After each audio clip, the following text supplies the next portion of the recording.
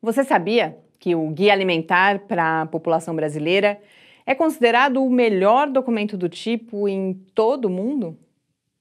Quem disse? Marion Nesson, professora da Universidade de Nova York, que teve recentemente aqui no Brasil. Mesmo enchendo auditórios em Brasília, São Paulo e no Rio de Janeiro, a visita não recebeu da mídia a atenção que eu acho que devia receber a não ser por alguns textos bem burocráticos que não foram além da superfície espetacular das afirmações militantes da pesquisadora.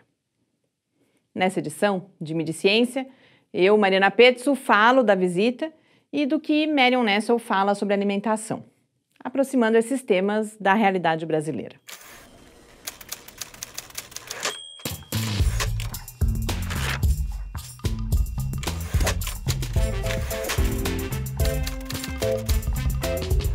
No livro Uma Verdade Indigesta, como a indústria alimentícia manipula a ciência do que comemos, Marion Nessel denuncia como as grandes empresas globais do setor alimentício têm determinado o que boa parte da população come.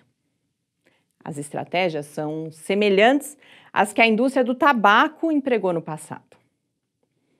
Essas estratégias incluem o financiamento de pesquisas que favoreçam essas empresas, a pressão sobre profissionais da área da saúde e o uso de informações ditas científicas como estratégia de marketing para, como sintetiza o HuffPost, fazer que alimentos não saudáveis pareçam boas opções. Em uma entrevista no Estadão, ao falar de conflitos de interesse e, e outros problemas ligados a esse financiamento privado da pesquisa, Marion Nessel afirma que a qualidade científica desses estudos raramente é um problema. Ela diz que o viés não vem da forma como a pesquisa é conduzida, mas sim das perguntas que são feitas. Esse é um bom exemplo de superficialidade da mídia a afirmação da pesquisadora não é explorada e aí fica difícil entender o que significa dizer que o problema está na questão de pesquisa. Em várias ocasiões, a pesquisadora também alerta sobre a importância da gente compreender as causas das nossas escolhas alimentares.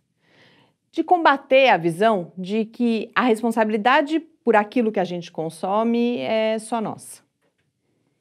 Mas para isso, a gente vai precisar de muito mais notícias e outros textos sobre o assunto do que aqueles que foram produzidos durante a visita. Ainda no Estadão, diante de um questionamento sobre quais seriam as mensagens distorcidas mais perigosas sobre os alimentos, a Marion Nessel descartou o termo perigosa, dizendo justamente que mais importante é informar como funcionam as pesquisas nutricionais. No blog uh, Food Politics, comentando um relatório publicado no começo do ano no The Lancet, a pesquisadora resume que, além de interesses comerciais velados e da falta de liderança política, a demanda social insuficiente por mudança também é um obstáculo ao combate à desnutrição e à obesidade. Aqui, mais uma vez, o diálogo com a sociedade poderia ajudar. Muitos dos temas que foram abordados por Marion Nessel têm significados bastante especiais no momento em que a gente vive aqui no Brasil. Uma primeira coisa é a importância do investimento de recursos públicos em ciência na busca por independência e transparência da pesquisa que é feita mais especificamente na área da alimentação, a gente assiste ao desmonte de um sistema de segurança alimentar e nutricional que já foi modelo para todo mundo. E está em discussão o novo modelo de rotulagem de alimentos. Além disso, o Ministério da Saúde já indicou a intenção de alterar o guia alimentar para a população brasileira.